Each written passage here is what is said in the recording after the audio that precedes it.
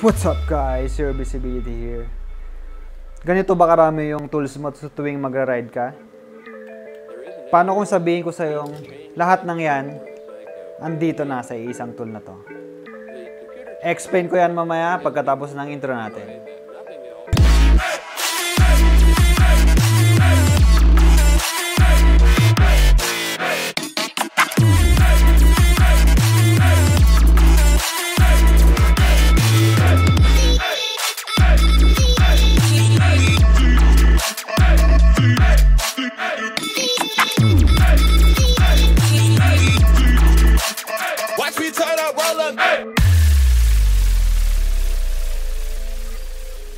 Bale, meron tayong bagong i-unbox ngayon. Multi-tool. Next tool ang brand. So, in-order ko sa Lazada. So, meron siyang receipt. Meron tayong sales order. Naka bubble wrap naman siya. Ganda ng pagka-package. Na-istorbo tayo. Ayun. Kung nakikita niyo siya. Ayun siya. Say hi, wife. Nagtatago siya. Ayun siya. Okay, tuloy natin ulit, guys. So, ito na. Maganda naman yung pagkaka-wrap.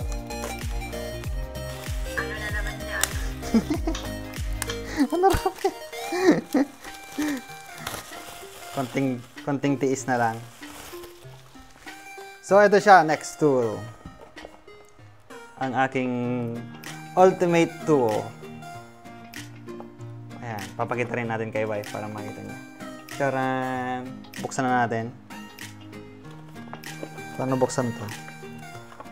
Okay. Ala, Mateo Godocelli tayo mag-unbox.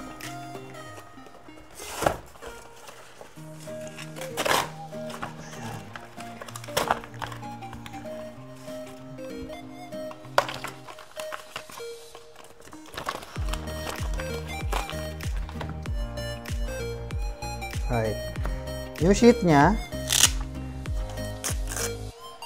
velcro yung sa may likod niya, sa may lalagayan ng belt.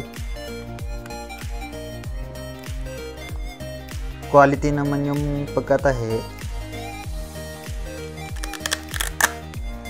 Ah, Maganda naman yung quality niya. And then, sa may tools naman tayo. Sa may multi-tool naman tayo. So, ayun, ayun guys. Bale, ang gagawin natin, papakita ko sa inyo kung ano yung laman ng multi-tool na ito. At mas magandang dalhin ito kaysa yung sobrang daming tools na to. Okay? Ayan. Mag-umpisa tayo sa pinaka main purpose ng tool na ito. Yun ang pliers niya. So, ayan guys. Bale itong pliers niya, ah, needle nose pliers na maganda rin yung quality niya.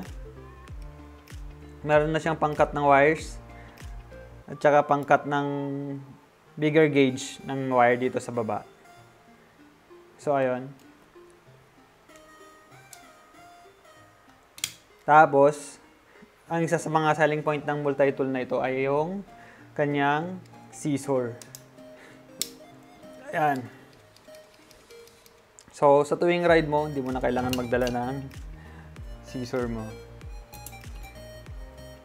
Yan siya guys. Bali, papakita ko lang kung anong laman ng multi-tool na to para mamaya explain natin kung ano yung mga pwede mong gamitin or siguro alam mo na rin kung ano yung mga pwedeng paggamitan nito sa bawat ride mo. So, ayun, meron din siyang knife. Teka, kuha tayo ng papel. Ah, ito. Test na natin kung gaano siya katalim.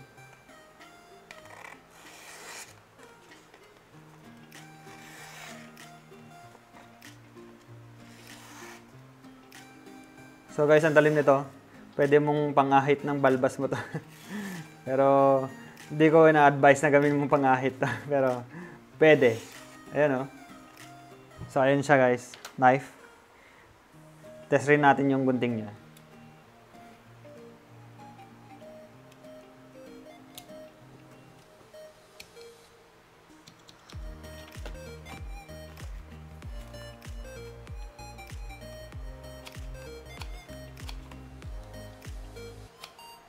Ayun.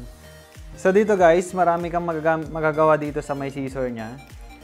Ah, pangkat ng rubber, ah, pangkat ng wires. Although yung pliers niya, meron na rin siyang pangkat ng wires. Dito, meron na rin siyang pangkat ng wires. Pero marami kang magagawa sa scissor nito guys. By the way guys, hindi ako sponsor dito ha. Pa- Pinapakita ko lang kung ano yung mga gamit ko sa tuwing magra-ride ako. So, siguro ang isa lang sa hindi ko magagamit dito is yung Sonya. Kasi hindi ko naman siguro kailangan maglagari ng kahoy. Or kung sakaling kailang, kailanganin ko maglagari ng kahoy, at least available na sa akin. And then, ito. Meron na tayong screw. So, hindi na natin kailangan magdala ng screw na napakalaki. Kasama na rin siya sa tools natin. Ito, pwede rin pangkat ng seatbelt. And then, can opener guys. Panigurado meron kayong mga delata. Kung wala kayong mga pang can opener na ko. Hindi mo naman siguro kailangan dala-dala na ito para lang sa dadali mong isang pirasong dilata, di ba? So, ayun, meron ka ng can opener. And then, ano pa ba? Sensya na guys, wala akong kuko. Ayun.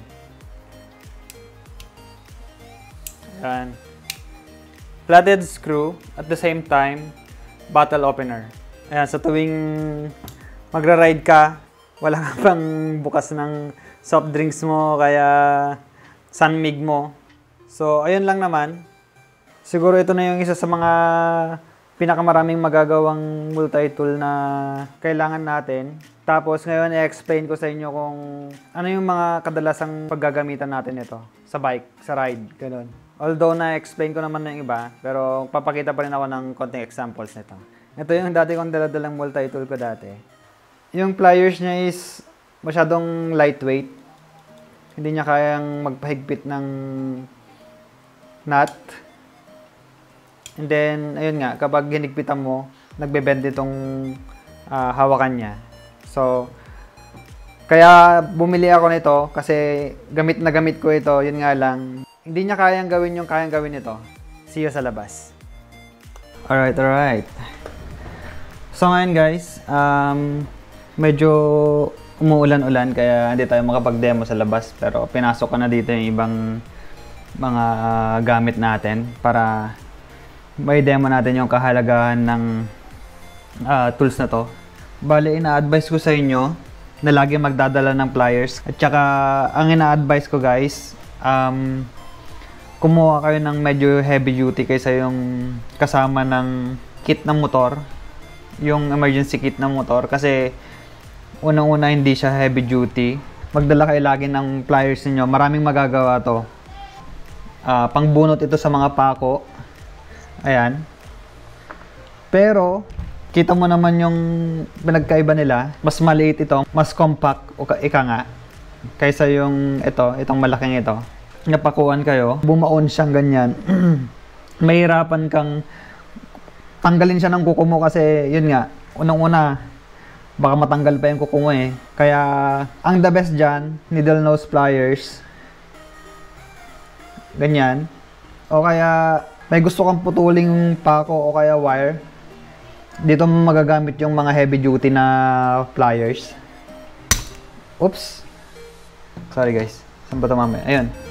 Ayan. Diyan mo magagamit yung heavy duty na pliers.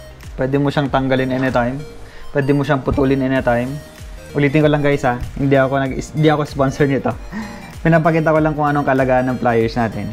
And then, kunyari may alambre ka at may gusto kang paigpitan dun sa motor mo at hindi hindi kaya ng kamay, dito mo magagamit ulit yung ah, pliers mo. Ayan, alam ko naman na gigets nyo yung point ko. Baka konting demo lang naman. So, ayan. And then, kapag naflatan kayo, wag naman sana Pero hindi natin may iwasan yan kapag rider ka. Mapaplatan ka talaga kahit bago pa yung gulong mo kapag sinumpong ka ng malas. So ako, may dala-dala na akong mga pangpasak. Ayan. May dala-dala na akong pangpasak. Yun nga lang ang problema, hindi siya nag-include ng pangkat. Kasi sigurado yan kapag pinasok mo itong pangpasak na to, lagkit ito ah. Ayan. Kapag pinasok mo tong pangpasak na ito, sigurado may sobra yan. Kasi magiging ganyan yan eh. Parang may iwan lang yan dito lang eh. Ngayon, ang pwede mong gamitin lang dyan is yung knife or razor. So, may lagi ka bang may dalang kutsilyo sa motor mo o kaya gunting. So, dito mo ngayon magagamit yung multi-tool mo kasi isang dala na lang. So, sabihin natin hindi mo makat ng razor o hindi mo makat ng knife, at least meron ka ng gunting. So, ayan siya guys. Pwede namang knife ang gamitin natin, yun nga lang, medyo mas mahirap siya. Yun ang kagandahan ng may scissor. At saka isa pa, kapag ginamitan mo ng knife, mas matagal nga kaysa sa scissor na gupit na lang, di ba? Ang kagandahan pa ng scissor, guys, kapag kailangan mo ng pantali at ang meron lang available sa'yo is goma, pinakamabilis mag maghati ng gomang scissor kaysa yung knife. So, ito bang isang scenario guys. Kunyari, nasunugan ka ng wirings. Wag naman sana. Pero, kunyari lang. Ngayon, nasunugan ka, paano mo mababalatan yun kung wala kang scissor o kaya knife? At saka pliers. So, ngay- ngayon, dito mo magagamit yung multi-tool mo. 'Di ba? Ang dami nagagawa, no? Isang gamit lang, ang dami mo magagawa dito sa multi-tool na to. Kinat ko na para hindi ko buhat-buhat yung napakaraming wirings na yan. So, ayan guys. Kunyari nasunugan ka ha. Paano mo babalatan ngayon yung wires kung wala kang knife o kaya scissor, di ba? Hindi mo naman pwedeng kagatin lang. Or kung iasa mo pa sa iba, kailangan mo pang itakbo yung motor mo sa pinakamalapit na electrician or ano. So, dito mo magagamit yung mga pang-emergency tools mo. Alright, so magbabalat tayo guys ng wire. So, ayan. Nakadesign talaga to pang pambalat ng wire dito sa may gilid niya.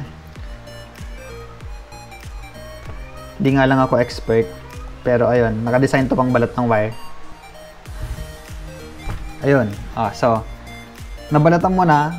At least, pwede mo nang ah, i-connect ulit hanggat makauwi ka. ah, malagyan mo ng proper repair para next na ride mo okay na naman.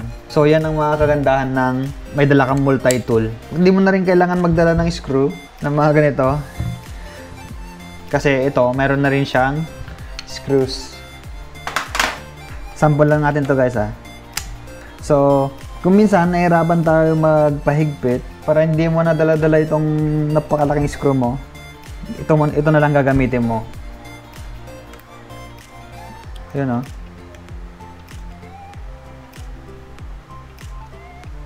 Ah, di? So, yan ang kagandahan ng meron kang tools sa ride. Pero at the same time, ang nare-recommend ko is multi-tool para hindi masyadong bulky yung daladala mo, hindi masyadong mabigat yung daladala mo. And then, hindi rin masyadong hassle. Kumbaga, kapag kailangan mo pala ng gunting, uy, maghahalukay ka pa ng gunting. Kailangan mo pala ng pliers, maghahalukay ka pa ng pliers, 'di ba? Nandiyan na, instantly. Yan ang kagandahan ng multi-tool, guys. Kaya, ina-advise ko, kaysa kompletuhin mo ng tools yung emergency kit mo, mas ina-advise ko ang multi-tool. Gaya nga ng sinasabi ko dati, hindi ko siya in- ini-endorse, pero nire-recommend ko. Kahit anong brand ng multi-tool ba yan, basta ah, multi-tool na pasok sa mga pangangailangan mo. By the way guys, kung sakaling gusto nyo yung tool na to, ay yung multi-tool na to, maglalagay ako ng link sa description down below. Um, kayo na bahala kung bibili kayo hindi o kaya mag-search na lang kayo ng ibang pasok na tool, ah, multi-tool para sa inyo. Marami dyan. So yan guys, dyan ko natatapusin yung vlog. As always, ride safe tayo lagi. Stay prepared kung ano man yung sakaling aberya. Kailangan meron kang pang-emergency kit. Kung wala ka bang wala ka pa talagang pambili ng multi-tool guys, ah, magdala na lang kayo pang-emergency kit ninyo. So yun lang guys. Ride safe tayo lagi. Stay safe. Huwag kakalimutang mag-like, comment, subscribe kung sakaling nakatulong man ito sa inyo. Pag-ring na rin yung notification bell kung ikaw ay bago pa para updated ka sa tuwing mag-upload tayo ng mga bagong video. So ayun lang. Salamat sa pagsama. I'll see you on the next one.